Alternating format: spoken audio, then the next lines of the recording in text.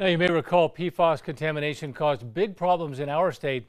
Firefighting foam used at Cannon and Holloman Air Force bases seeped into the groundwater, creating large plumes of toxic chemicals. They were first detected back in 2018.